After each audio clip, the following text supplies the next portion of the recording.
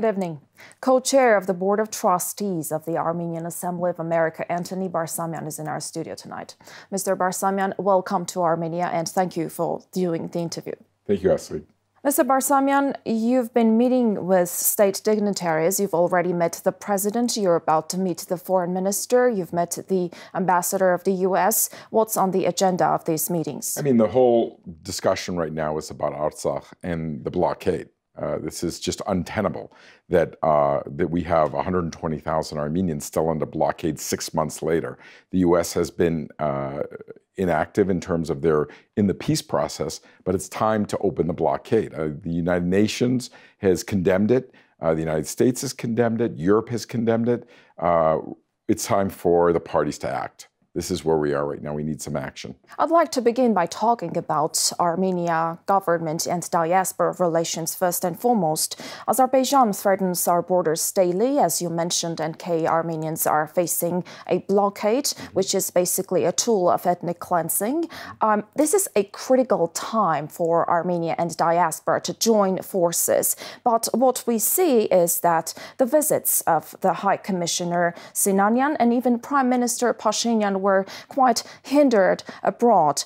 Um, is there a realization among the diaspora to full extent of what challenges Armenia, our statehood, as well as the Armenians in NK are facing? And if yes, then why do we not see the same unity among the diaspora as uh, when it comes to restoring historic justice and fighting for it? That's a good question. So the Armenian Assembly never interferes internally with Armenia's politics. So we work with every government of Armenia. Uh, I think there needs to be a, a, break here and a realignment. I think what we need is for a sit down with some of our uh, leaders in the diaspora, certainly Armenian Americans, and uh, those in government here. We have to align our values. Right now, there's a crisis, which we know, and everyone is very concerned. So, what I'm telling people is enough of the talk of what we cannot do. We have to critically analyze what we can do. So, it's time to look at our situation and say, these are the most important things. Uh, there are some very good things happening.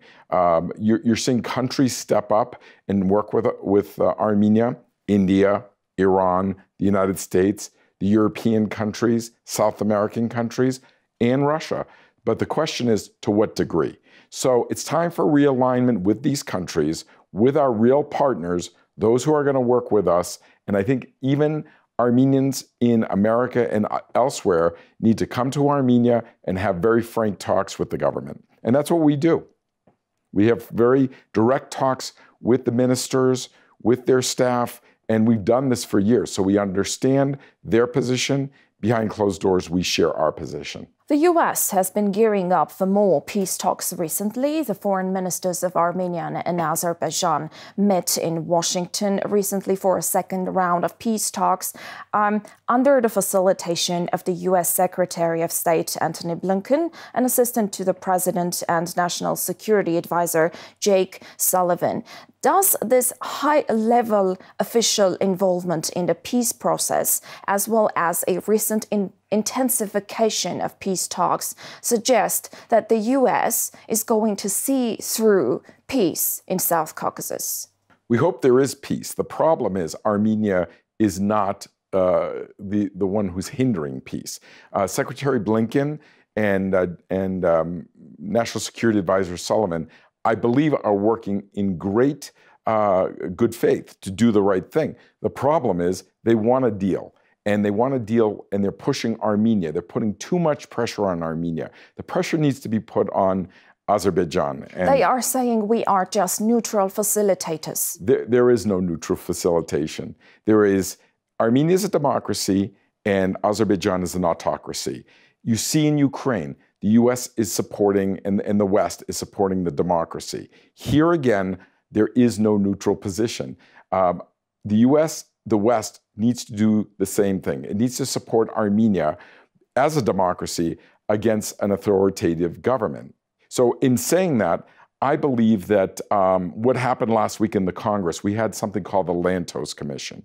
And what that was, was David Phillips and people like Michael Rubin appeared before Congress and were very direct. And what they did is they put on record that this blockade is illegal, that you have something called the Humanitarian Corridors Act that the Armenian Assembly worked to pass in the United States that says no country can block others receiving aid who received aid in the past. So Artsakh received aid in the past. Right now, uh, the Azeris are blocking that aid. So, under the Humanitarian Aid Corridors Act, the President of the United States has the right to stop all assistance to Azerbaijan and should. So, the, the, what's happening is in Artsakh, um, the temperature is rising. They continue the blockade. Now it's an absolute full blockade. Everyone knows it. The Europeans know it. The UN knows it. America knows it. Russia knows it. What are we going to do? It's interesting. David Phillips was very direct, and I, I, I, applaud him for this. He basically called out Israel and said, This is a betrayal of your history. By Israel helping Azerbaijan, they're betraying their own history of the Holocaust. Let's break that down a little bit. We have very good friends, uh, Jewish American friends in the United States. The Federation or, or uh, the Federation in Boston and and uh, Los Angeles said we can no longer tolerate this this blockade of Artsakh. It is the beginning of ethnic cleansing, and they feel it on their skin because they, have they've, they've dealt with this in their own history. You know, Elie Wiesel uh, had a, a um, a speech once. It was on April 12th, uh, 1999, called The Perils of Indifference.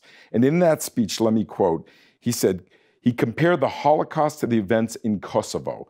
And what he said is action uh, is the only remedy to indifference. Inaction is the most insidious danger of all. Well, what's happening? The UN, no action. The US is pushing, but yet no action on the ground. Even Russia is standing back. So, my job as an advocate for Armenia and for Artsakh is to say, we need action. This is the moment. Otherwise, we are going to face a second genocide. Israel needs to listen to the Jewish community in the United States and elsewhere around the world and stop this. Stop supplying weapons to Azerbaijan because they will now be a party to genocide in eh, Artsakh. Back to the peace talks, we have seen decades of peace talks crumble into dust and end in war, basically. Do you have any optimism that this time it's going to end differently? I think there can be peace, but the one thing we're reminding everyone is that President Aliyev can say something is so, but it isn't so. So by him saying it, it doesn't mean that Europe, the United States, Russia, or anyone else has to agree with it in a, and I've said this before, in a peace deal, there needs to be goodwill on both sides to give up something. President Aliyev knows that Artsakh needs to be autonomous from Azerbaijan. It cannot be under Azerbaijan. No way. Armenia is already giving up a lot. So the fact is, it's time now for President Aliyev to get real. If he wants true peace, which is doubtful, but if he does want true peace, he will need to give up some things, allow the Lachin to open, and allow Armenians free flow from Artsakh to Armenia. What you mean by giving up something is basically compromise, which we do not see Azerbaijan do. That's true. And herein is the crux of the problem. If they want stability in the region, everyone will need to compromise. If they want instability, where there'll be no investment in Azerbaijan, in Armenia, in Georgia, we can continue with instability. But I believe there is a chance here right now for everyone in this region to work together, but there needs to be some compromise. Uh, as of now, I'll be honest, I don't hear the rhetoric at least. And also, we have POWs. Armenia still has POWs held in Azerbaijan. That needs to stop immediately. The agreement calls for it. It also calls for UNHCR to go into Artsakh. It's going. Uh, we've been pushing for USAID to to enter into Artsakh.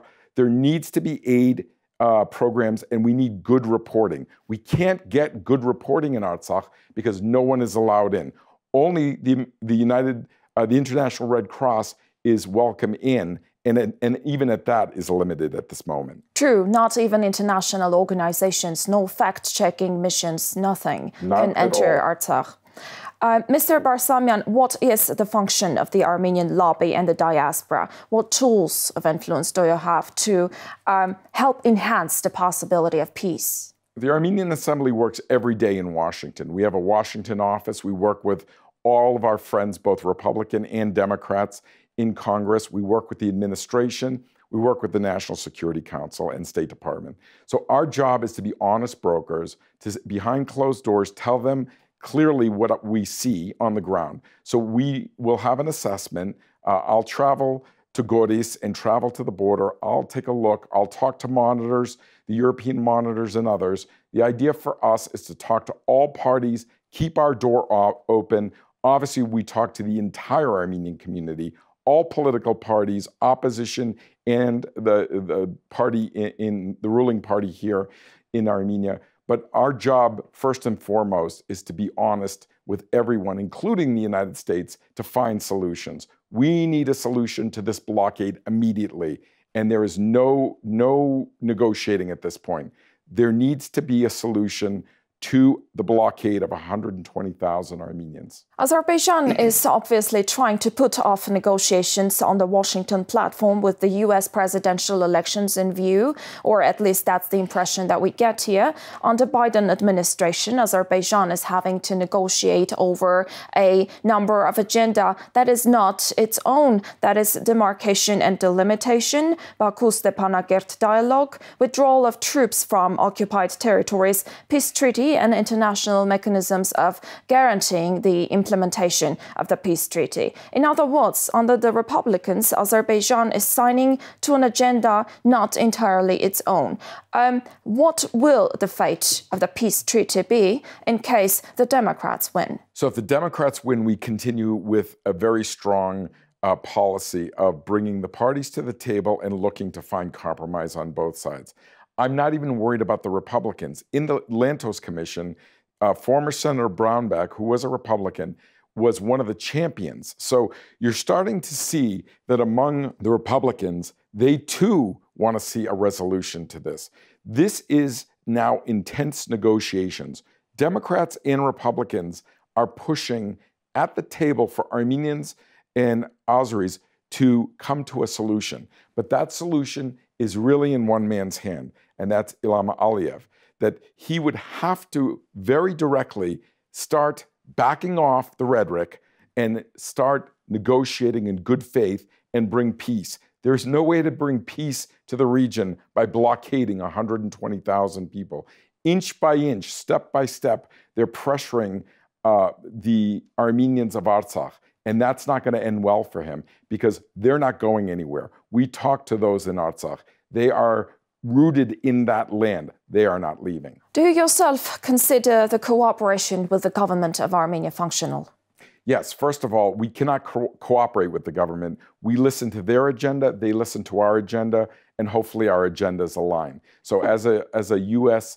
advocacy organization, we advocate for Armenians and the Armenian people, and that is our job. So, we work with Congress, we work with the administration to have uh, an open, positive, and healthy U.S. Armenia relationship. About U.S. Armenia relationship, Secretary of Security Council Armen Grigoryan will leave for the U.S. to discuss Armenia U.S. relations with Jake Sullivan. What should we expect from this visit? I think every time uh, a, a, an Armenian official travels to the United States, there's more that can be put on the table. So there's a basket and um, I think the uh, National Security Advisor should be very direct, ask for certain things that Armenia needs, and also ask that they block uh, Azerbaijan from receiving any assistance. Because until the Lachin is open, they have a legal right to not to ask uh, or to impose on Azerbaijan a block of any any assistance.